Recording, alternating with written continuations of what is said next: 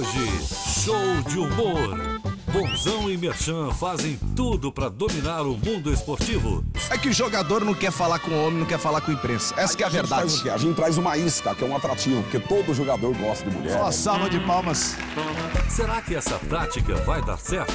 Gostou, Edu Guedes? Parabéns, parabéns. É Uma loucura! É uma loucura!